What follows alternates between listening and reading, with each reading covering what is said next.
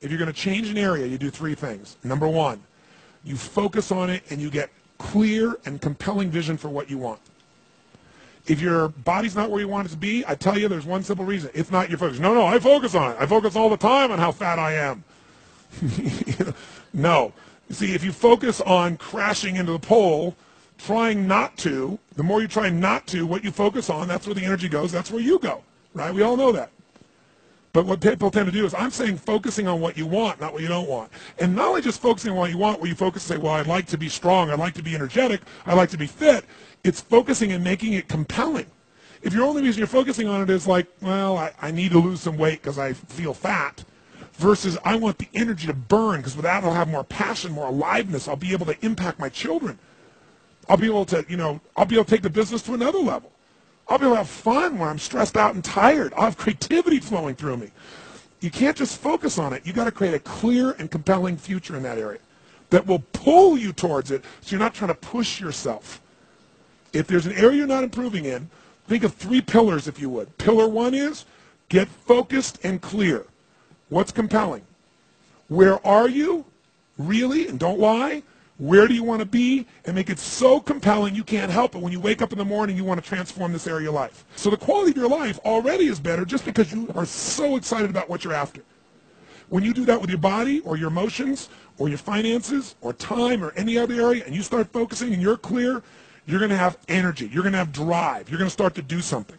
How do you make sure what you do really works? You need the second pillar. And think of this as three pillars. Because, you know, two-legged stool is going to fall over. One leg, you can't sustain. Second pillar, you got to get the best. When I say get the best, get the best tools. Get the best map. Get the best mentor. What I'm looking for is, I'm not, I, it's wonderful that you're focused and clear and excited, but if you're running east looking for a sunset, you got a problem. I don't care how much you believe, I don't care how much enthusiasm you have, you got the wrong tools.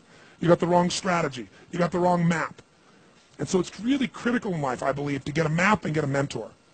Because the map very often changes. And the best mentor, somebody who's the best at what they do, they know the shortcuts, don't they? Or they know when the roads change. You don't get stuck hanging out, you know, in the desert when you're trying to get to the ocean, you know, metaphorically. So I've always focused on not just finding somebody good, but who's the best at it, who's got the best tools. Think of that first pillar as a target. You're crystal clear on the target. And now you got the toolbox, man. You got the best tools, not rinky-dink tools, the very best. And the way to get the best, by the way, that I've done it is model someone who's already successful. All the tools I come up with, some I've obviously created, but the foundation came by standing on the you know, shoulders of other giants. You know, I went out and found somebody that's already got the result. Why reinvent the wheel? Success leaves clues. Find the best, figure out what they're doing, do that. Alter it, find your, your view of it, but start with what already is working rather than starting from scratch and trial and error. But if you've got what you know that focus, the target, and you got the toolbox, and you're still not getting what you want, it's because you got inner conflicts. That's the third pillar. You've got to resolve your inner conflicts. Because that, as I try to explain to you, 80% of success in anything is your psychology, and 20% is the mechanics. So those inner conflicts are when you take two steps forward and you pull three steps back right? When you say, boy, I'm totally committed to this, but you don't follow through. This is my expertise, the why guy part. Why? Why do you keep saying you want this? You have crystal clarity, you have the tools, and you're still not getting it? There's a conflict in you. You want to be totally successful, but you're afraid at some level that if you will are totally successful, you will not be loved. You'll be rejected.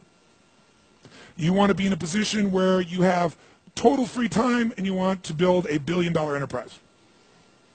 These are conflicts.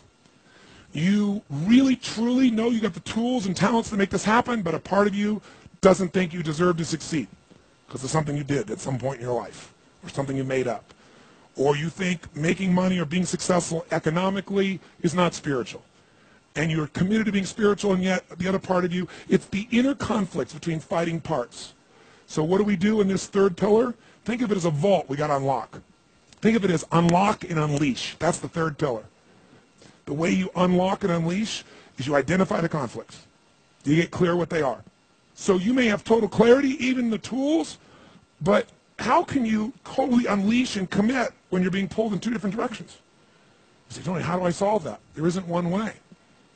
You've got to get clear about what's most important to you today not what you think you should do based on an old blueprint, an old belief system, your parents, society, your friends. Otherwise, you'll succeed and not be fulfilled. So once you identify the conflicts, now what you got to do is align. Align your life with what you really value. Align your life with what is most important to you. And then once you are in a position where you're aligned, guess what you'll do? Take action. You won't have to work at it. When everything's in alignment, there's nothing pulling you away, boom, you go for it.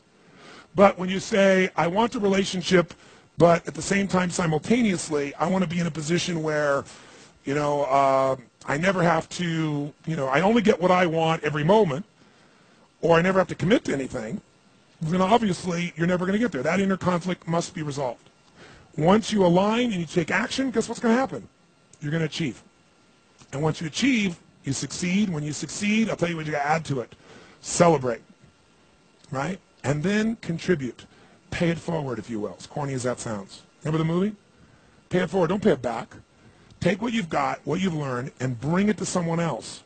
And if you bring it to someone else, it continues that cycle of fulfillment, of joy, of meaning in your life. Everything works.